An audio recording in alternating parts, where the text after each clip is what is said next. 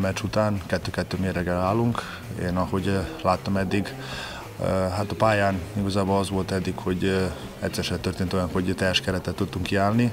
Remélem ez továbbiakban sikerülni fog, de így is tudtunk megszerezni két nagyon fontos győzelmet.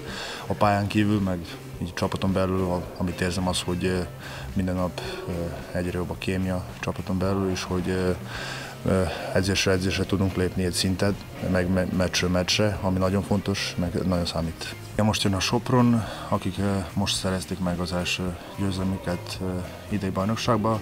A Sopront azért azt kell mondani róluk, hogy van egy öt légiósuk, kiegészítve erős magyarokkal. Azért mindenképp azt, akartuk megtar- azt akarunk megtartani, amit Paksi mérkőzésen is sikerült, az az agresszivitást, ahogy, ez, ahogy védekezésben, úgy a támadásban is, és hazai pályán mindenképp szeretnénk megszerezni ezt a győzelmet.